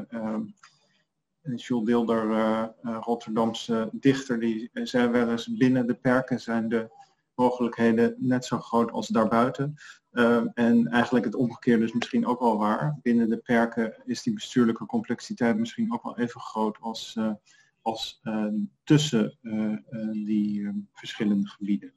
Um, goed, misschien toch, want we gaan een beetje naar het einde toe, Rien. Um, ik zou het leuk vinden om te proberen toch een klein beetje te, te concluderen naar een soort van hoofdvragen of hoofd uh, stappen die we zouden kunnen zetten als conclusie op ook deze reeks. Ehm, ehm, kan jij daar eens even een, misschien is het een grote vraag gesteld hoor, maar kan je eens even een poging doen om eens even wat, wat, wat stappen te zetten en te kijken of we daar misschien um, ook met het departement wat, wat mede aanstichter is van deze reeks uh, over kunnen van gedachten wisselen. Rien, doe eens een poging. ja, geen simpele opdracht. Ik denk wel dat we een aantal rode draden kunnen trekken door, door deze reeks, de drie sessies. Um, het, het, doe iets met elkaar, hè, werk, ga samen zitten, leer elkaar kennen, leer elkaars opgaven kennen. Um, dat hebben we heel vaak uh, teruggehoord. Dat de liefde van twee kanten moet komen, dat vond ik ook een hele interessante. Um, ja, kennis, begrip van elkaars opgaven en, en het zoeken naar win-win. Hoe, hoe kan die 1 plus 1 optellen naar, naar meer dan 2? Um, ehm, en, en ja, toch ook wel het feit dat um, wetgeving en, en instituties en, en processen, financieringskanalen, um, dat die heel sterk verschillen en dat dat ook een belangrijk uh, aandachtspunt of obstakel is bij uh, grensoverschrijdende samenwerking. Wat ik ook nog wel interessant vond, dat hebben we vorige week gehoord en, en vandaag opnieuw, hè, dat is dat, dat grote verhaal waar mensen zich achter kunnen scharen, waar mensen in kunnen um, geloven, dat dat ook wel een, um, belangrijke factor is om dingen op de lange termijn uh, voor te zetten. Maar um, ik wil deze vraag eigenlijk ook uh, heel graag stellen aan Mart van Damme. Mart van Damme is actief bij het ministerie van uh, Binnenlandse Zaken en Koninkrijksrelaties in Nederland. Ehm, dus mede-ondersteuner van, van dit traject, zoals ik al zei eerder. Ehm, wat zijn voor jou, Mart, de belangrijkste inzichten uit, deze reeks? En, ehm, en hoe wil je daarmee verder binnen de Rijksoverheid? Nou, dank, uh, dank Gien voor de gelegenheid om hier even te reflecteren. Ik heb eigenlijk het gras al een beetje voor mijn voeten weggemaaid. goede, goede samenvatting van wat hier de afgelopen paar webinars is besproken. kunnen jullie me goed verstaan trouwens? Heel goed. Ja, ah, oké, perfect. ik zal mezelf even voorstellen. Ik ben Mart van Dam. Ik ben regioverbinder voor grensoverschrijdende samenwerking bij het ministerie van Binnenlandse Zaken. En het houdt in dat ik bepaalde punten die spelen in de grensregio op de agenda zet bij mijn collega's in Den Haag. Dus kansen, uitdagingen. Uh, ik ben ook uh, betrokken bij deze webinarreeks. En eigenlijk het idee uh, vanuit ons was om professionals die zich met ruimtelijke vraagstukken bezighouden, met elkaar in contact te zetten en te kijken wat nou precies de succesfactoren zijn die bijdragen aan zo'n goede samenwerking. En ik kan me wel mijn waardering uitspreken over hoe je dat de afgelopen drie webinars met sprekers hebben neergezet. Ik heb er zelf ook veel uh, van geleerd, veel was herkenbaar, maar het is uh, toch mooi om alles even bij elkaar uh, te zien komen. Stel een vraag van ja, wat zijn dan die succesfactoren? Ik heb al een aantal gemene delers meegekregen. En eerst is heel bazaal van ja, je moet elkaar überhaupt kennen en weten wat de ander precies doet. En daarnaast moet je kijken op, op regionaal niveau wat nou precies de opgaven zijn die je gezamenlijk grensoverschrijdend wil oppakken en op kan pakken. Vervolgens moet je daar dan ja, andere mensen bij betrekken. Uh, wellicht uh, liggen de bevoegdheden op een ander niveau uh, geregeld, dus je zou er ook bij moeten betrekken. Het is vaak nog niet zo makkelijk, hè, want het komt naast je normale werk, dus heb je daar financiering voor, heb je daar überhaupt tijd voor? En daar zit ook wel een rol voor, voor BZK die wij oppakken en ook in de toekomst op willen blijven pakken. Als soort faciliterende uh, ja, schakel richting de, de Rijksoverheid op het gebied van grensoverschrijdende samenwerking. Nou, dit, is wel bekend dat mijn collega's zich met Novi uh, bezighouden. Nu ook echt uh, ja, wat grensoverschrijdende opgaven op een bord hebben. Hè. Als je kijkt naar de Novi-gebieden, dan liggen er twee aan de Nederlands-Belgische grens. Dat zijn Zuid-Limburg en de Noordseapoort District. En er wordt op een hele ja, integrale manier gekeken naar de, de ruimtelijke uitdagingen in, in die gebieden. En dat is wel een, een, een ontwikkeling. Uh, ja, we kijken dus samen met uh, subregionale overheden over hoe je zo'n gebied zou kunnen ontwikkelen. En meer specifiek in de Kanaalzone, Noordseaport District, wordt er ook echt samengewerkt met regionale overheden aan de andere kant van de grens. Want ja, als je het effectief wil doen, dan moet je nou helemaal uh, samen gaan, gaan werken. Um, en ze zijn daar nog niet aan het eind van de rit natuurlijk, maar je ziet wel dat die succesfactoren daar ook wel terugkomen. De energie komt echt uit die regio zelf. Er zijn regionale partijen die daar hebben, in beeld hebben gebracht wat precies de opgaven zijn. Dat hebben ze uitgewerkt in een plannetje. Uh, de Rijksoverheid is daar ook goed bij betrokken, uh, samen met uh, decentrale overheden aan de andere kant van de grens. Dus ik denk dat dat wel eentje is om te, te onthouden. Daarnaast moeten we ook niet vergeten dat niet alle ja, uitdagingen uh, specifiek te maken, ruimtelijke uitdagingen zijn. Ook daarbuiten zijn allerlei zaken die uh, ofwel de grensoverschrijdende samenwerking stimuleren ofwel uh, belemmeren. Denk bijvoorbeeld om verschillende fiscale regelingen die het grensarbeiders bijvoorbeeld moeilijk maken om een, een, baan te vinden vijf kilometer van hun huis af, net aan de andere kant van de, de grens. En daar zijn we ook als BZK ook actief mee bezig. misschien een goed voorbeeld om hier nog onder de aandacht te brengen, dat is de eh, bestuurlijke werkgroep eh, Donner. Eh, de havenfusie, dat is een, feit geworden. En toen is er gekeken van nou, tegen welke problemen op het gebied van verschillende wetten en regelgeving, waar loopt die, dat nieuwe havenbedrijf nu tegenaan? Daar is een inventarisatie uitgekomen. Vervolgens hebben de staatssecretaris van Binnenlandse Zaken en de Vlaamse minister-president een bestuurlijke werkgroep de opdracht gegeven om daar verder in te duiken en te kijken met wat voor methode zouden we nou met die punten om kunnen gaan. Dat werken we nu verder uit. En er komt eigenlijk een governance structuur 2.0 in, waarbij we knelpunten die automatisch opkomen bij grensoverschrijdende projecten. Want ja, als je goed samenwerkt, loop je tegen problemen aan. Uh, dat, is goed, dat is goed nieuws, maar hoe ga je daar vervolgens uh, mee om? Daar hebben wij een plan voor ontwikkeld en hopen we ook in de volgende kabinetsperiode mee uh, verder te kunnen gaan. En tot slot, ja, die eerste succesvoorwaarde was eigenlijk, nou, je moet elkaar kennen en een beetje inzicht hebben in elkaars bevoegdheden. Nou, we hebben ook gevraagd hoe kunnen we dat nou beter faciliteren, ook om lokale uh, overheden daar een, tool bij te geven en regionale overheden. Dus we samen met de gemeente Baarle-Nassau aan de slag gegaan. Dat is nou juist zo'n gemeente waar je er ook niet omheen kan. Hè. Enclaves, uh, zij moeten gegarandeerd bij elk onderwerp eigenlijk samenwerken. Dus we hebben samen met hen een, een, uh, een bordspel ontwikkeld, de zogenaamde koerskaart. Waarbij je eigenlijk met je evenknie van de andere kant van de grens om tafel gaat zitten. En uh, een bepaald onderwerp afpelt gedurende een half een, een, dagdeel. En aan het eind van het dagdeel weet je precies wat het grensoverschrijdende probleem is. Wie de persoon is die dat aan de andere kant van de grens doet. En heb je al een paar vervolgstappen ge, gerealiseerd. Want uiteindelijk werkt grensoverschrijdende samenwerking alleen maar als je op heel regionale schaal bepaalde opgaven duidelijk in beeld brengt en dan met een heel gerichte vraag, als het nodig is, naar een, een hogere overheid stapt. Dus ja, dat zijn eigenlijk de, succesfactoren die ik uh, ja, heb meegekregen in, in deze reeks.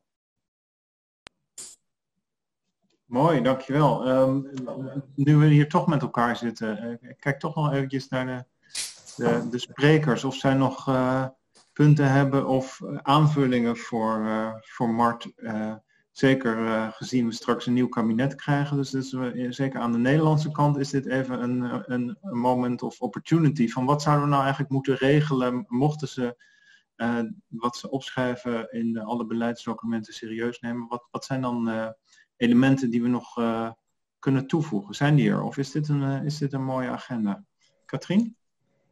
Um, ja, wat je zou kunnen toevoegen is de, de overheden kunnen inderdaad beter met elkaar grensoverschrijdend samenwerken. Maar naast overheden is er ook nog zoiets als het middenveld. Dat is een Vlaamse term om te zeggen NGO's lokale gebiedscoalities, verenigingen, um, die vaak uh, veel minder last hebben van institutionele grenzen en veel, veel makkelijker grensoverschrijdend en ook over taalgrenzen heen kunnen samenwerken met elkaar, omdat ze gewoon die institutionele niet hebben. En daar moet je gebruik van maken als overheid. En niet zeggen, we gaan het nu eens beter met elkaar regelen, maar eigenlijk gebruik maken van wat er al op het terrein gebeurt en daar uw voordeel mee doen. Dat is iets wat ik zou willen toevoegen. Ja, nou, heel fijn. Dat is een mooie toevoeging volgens mij. En eentje had je eigenlijk ook al genoemd in, met betrekking tot het onderzoeksgeld. Hè. Zorg dat dat niet bij de grens uh, uh, ophoudt en leidt tot een, een kaart die leeg lijkt aan de andere kant van de grens. Dus dat, dat is denk ik ook nog wel een, een relevante. en die kan je meteen doortrekken, wat mij betreft, naar de geodata. Hè. Dus dat we daar echt met elkaar gewoon dat is natuurlijk bijna een ingenieursvraag van los het op, maar daar hebben ze wel een goede opdracht voor, voor nodig. Dus volgens mij is dat ook nog wel eentje die we aan het lijstje kunnen toevoegen. Um, niet dat we nou een heel lange lijst voor, uh, voor Markt per moeten gaan, gaan maken, maar toch zijn er, zijn er nog uh, Um, laatste ideeën daarover. Hoe we beter kunnen doen. Hoe we verder kunnen gaan. Nee, nou, ook niet uit... Als niet het geval, als dat niet het geval is, dan wil ik ook nog even het aanbod doen. Als een van de partijen die aanwezig is uh, wil werken met zo'n koerskaart, hè, of er is een bepaald knelpunt op het gebied van wet en regelgeving waar jullie in de praktijk tegenaan lopen. Ja, ik wil dan niet om gewoon contact uh, op te nemen en dan kijken we hoe, hoe of wat, hoe jullie werk kunnen helpen.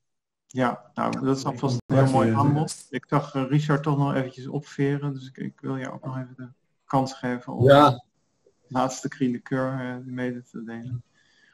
Maar ik, ik, ik, ik vind wel dat, dat, die praktijk is heel belangrijk, denk ik. Ik denk dat wij natuurlijk nu een, een, een heel mooie gebiedsagenda hebben, waar we het landelijk gebied eigenlijk gewoon kunnen ontwikkelen.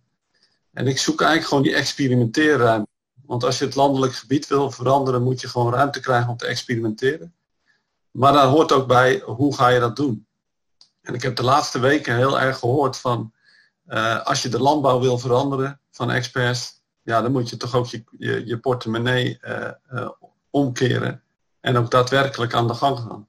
En ik zoek het wel eens, we hebben regio-deals en ik heb heel veel gesprekken met het Rijk en, en, en het zijn hele goede gesprekken.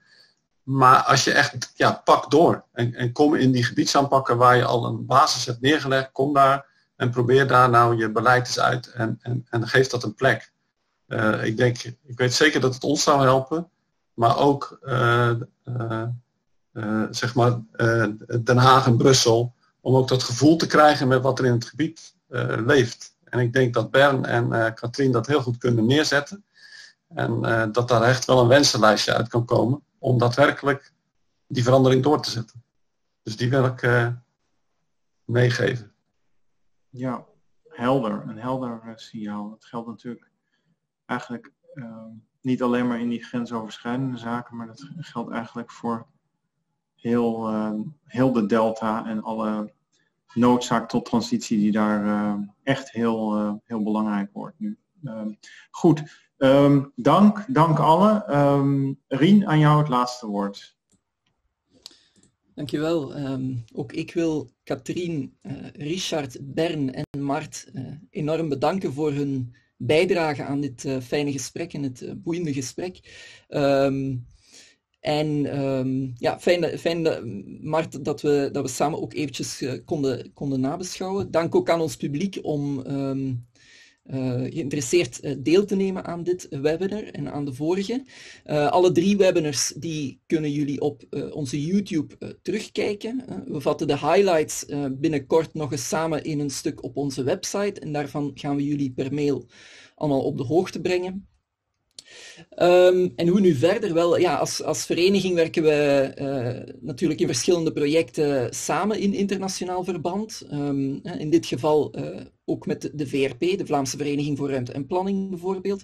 En we vinden dat ook heel belangrijk om grensoverschrijdend samenwerken te blijven agenderen en hieromtrent kennis te delen, moest dat nog niet uh, duidelijk zijn. Um, dus bij deze ook een, een warme uitnodiging aan, aan aan u, ons publiek. Eh, als u een idee heeft dat u verder wil uitwerken ehm, of u denkt dat wij u op een of andere manier eh, kunnen versterken, um, of elkaar kunnen versterken, dan uh, aarzel dan zeker niet om ook met ons opnieuw contact op te nemen. Um, ik ga het daarbij laten tot voor nu. fijn nogmaals dat u erbij was en heel graag tot bij een volgende gelegenheid. Dank u wel. Tot ziens. Ah.